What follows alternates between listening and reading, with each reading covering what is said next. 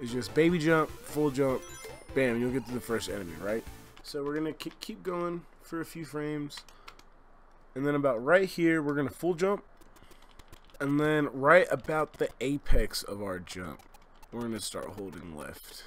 We'll grab these last few coins on this stream right here. Did I really just call them coins, dude? Oh my god, a fucking eight-year-old me is screaming in my face. We will pass the yellow spring, and we will land with just enough time to take almost a full step. And you can't full jump here because it'll take us to the platform that's right above us, right? So we need a mid jump. Next frame, we're going to be jumping. You guys see right here, there is a tiny bit of a slope that if we hit will change our momentum. And so we hold left, we're going to hit these boxes, right? As soon as Sonic hits them, holding left, we hold right, we do a full jump, now this part's tricky, okay? Believe what we're looking for is going over this middle section. You see this little plus right here in the middle? As soon as Sonic has made it past this middle, we begin to roll. No, I think we break all six, and but as soon as we break six, we jump. And that should, yeah, and that'll bounce us up right here. And then on to the speed shoes, okay? Hold jump. We're going to clip up top. And as soon as we get over the first half of the speed shoes, we are going to let go of jump and begin holding right. We hold right. I think we want to wait until about right here to full jump. We jump to the middle of the Buzz Bomber. Because then we're going to hit the Buzz Beetle here. And so the reason why we keep holding jump is we get a bounce off of the Buzz Beetle. And then we land on flat ground. We then run through these slopes. And right here where this flower is, like right before it, like this frame, we're to jump, full jump. And so, like the exact frame Sonic touches these spikes, we're to full jump.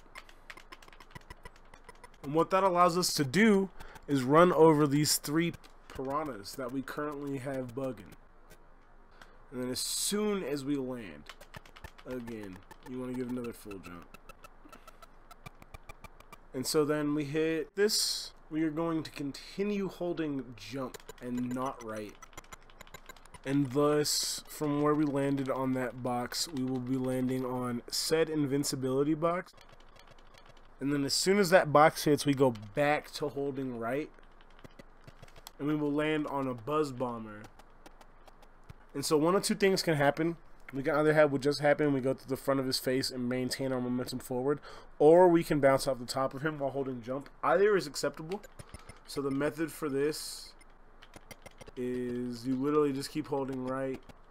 We kill the, the Beetleborg on the ground, grab the third ring, Sonic gets fucking covered up like a pretty anime girl. We hold full jump, you're either going to land in between the two fish, fishies, or on the fishy. If you land on the fish, you want to let go of jump. Otherwise, you will land at this wall right here, which will de decrease your forward movement. And so, yeah, that's the stage, guys. And so... Which is like a 14 second time save. it's just about it all coming together.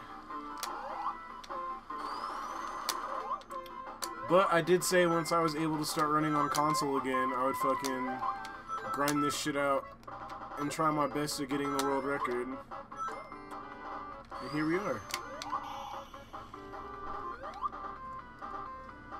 So 25, 19.